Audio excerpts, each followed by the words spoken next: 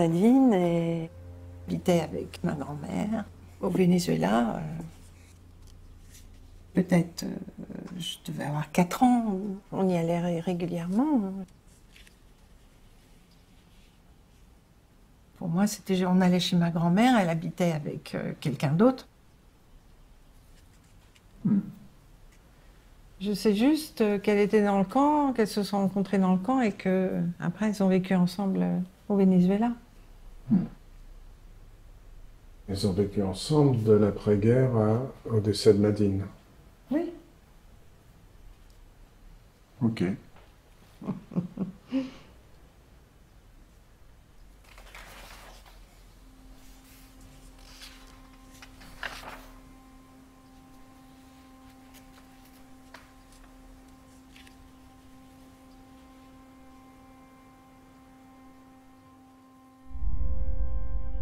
Il neige.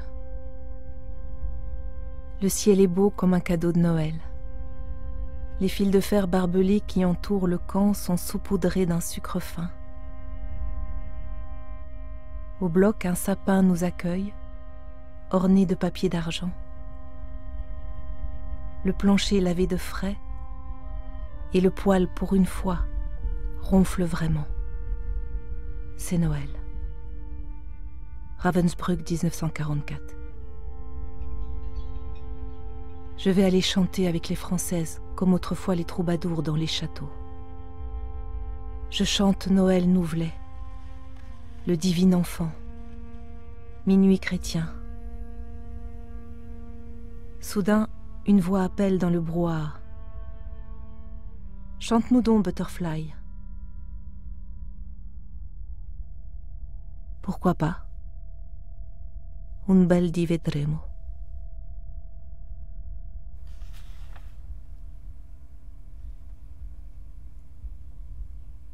L'émotion coule sur ma peau.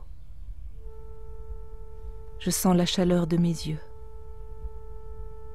La joie m'envahit. Une joie dionysiaque. Battement de main. Deux bras me serrent. Deux baisers sur ma joue. Butterfly est devant moi. Ses cheveux noirs, sa peau d'ivoire, ses yeux obliques. Nadine. Elle dit Le bon Dieu a été chic pour nous ce soir.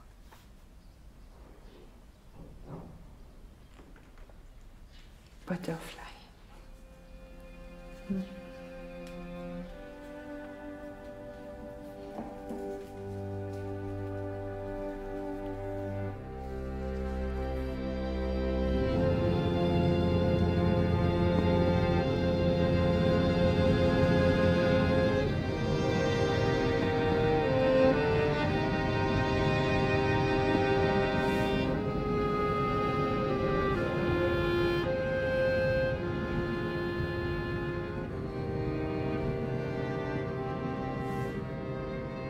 Ma grand-mère, jamais parlé de, de Nadine.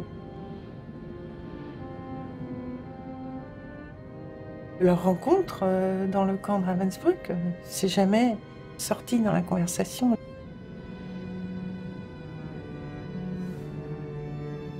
Je me souviens vraiment bien que ma mère n'aimait pas Nadine et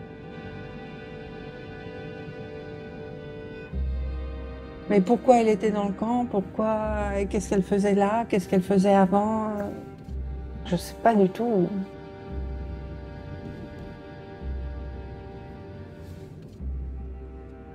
Elle était la fille d'ambassadeur de Chine en Espagne. Est-ce qu'elle était une prisonnière politique? Une prisonnière asociale? Est-ce qu'elle a fait de la résistance? Je sais juste qu'elle avant les camps. Elle vit à Paris.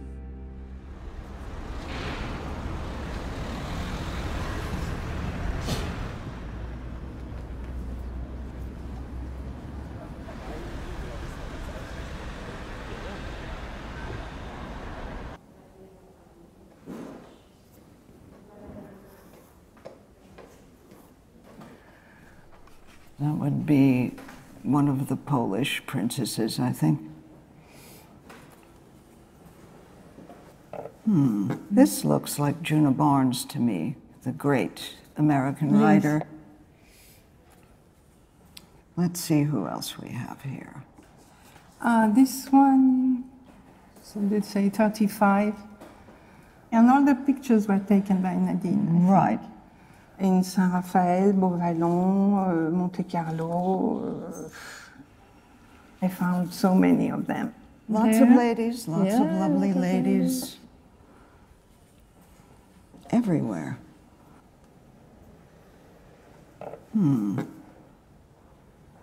That's why I wanted to see you because looks like you know a lot of things about the, the life of Nadine before I knew her. Mm-hmm. This is Nadine with Natalie Barnet. Oh, that's Natalie. That is distinctly Natalie. Nadine was in Natalie's employ hmm? as a secretary and a chauffeur, as well as a lover. Natalie was very practical. Natalie Barney founded in the early part of the 20th century the most important literary salon that ever existed. She was a lesbian, supporting and promoting brilliant women artists and writers.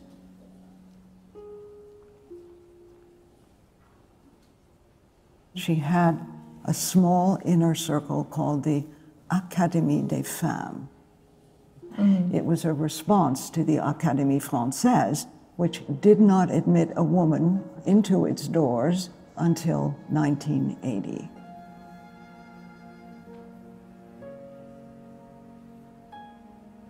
Naturally, there is no plaque mm. on 20 Rue Jacob mm. where Natalie kept her salon for 63 years. Mm-hmm. No recognition at all of what she did.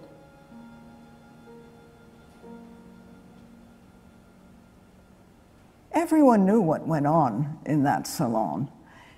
Every Friday between 5:30 and 8, people came to perform in her salon. Mm-hmm. Stories would circulate that things went on more wild than anyone could imagine. With so many attractive, intelligent people, everyone is going to end up sleeping with everyone else. Mm-hmm. Nadine seemed to have great feelings for Natalie, hmm. but Natalie had an array of lovers. I found no letters from Natalie that indicated love to Nadine.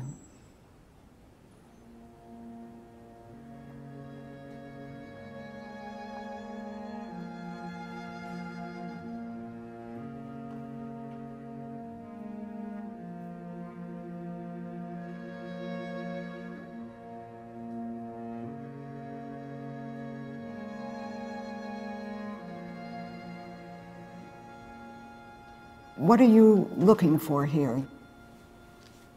Nadine and my grandmother met at the concentration camp in 44. Mm-hmm. And after the war, they decided to live together. That was the only thing I, I was. So, what took you so long to investigate your grandma? Because nobody was talking about it. Mm-hmm. My mother put these albums in an envelope, written Nadine, and put this in, in the middle of junk. Mm-hmm. So much of this kind of history is lost mm-hmm. completely because although people live together, as your mm-hmm. grandmother did, nobody says it.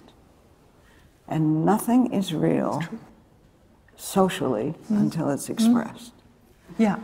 So, when did you express it?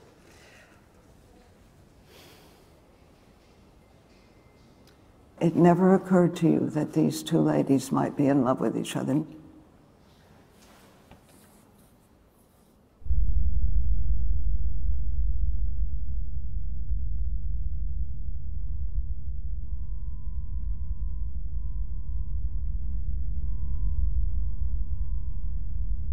janvier 1945, Ravensbrück.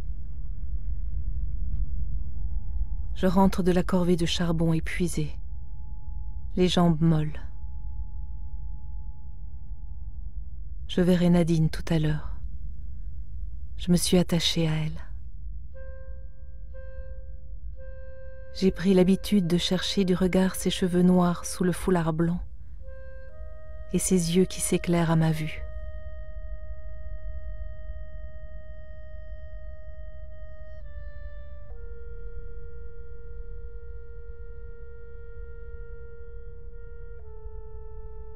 Je monte à ton lit du troisième étage. Tu y es heureusement seul, ce qui est rare dans ce camp.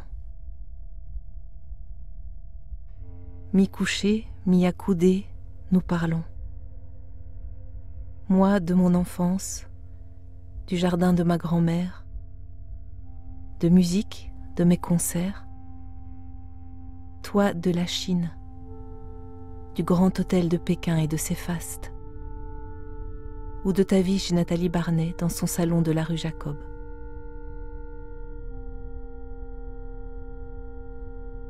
Tu fais de singuliers projets où il est question de caviar et de champagne, nous attendant au retour d'une soirée parfaitement brillante. Cela me fait rire.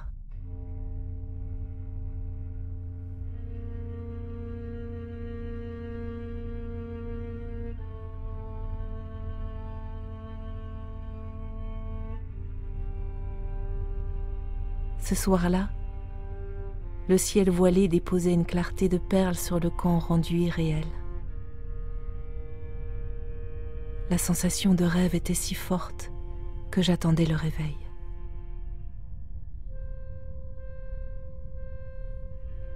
Plus tard, si je reviens dans la vie, je reverrai cette nuit. Je te reverrai, Nadine, au bras de qui je m'appuyais.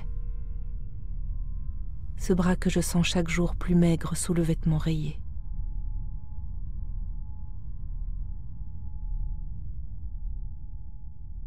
Nadine, y aura-t-il jamais une vie pour nous?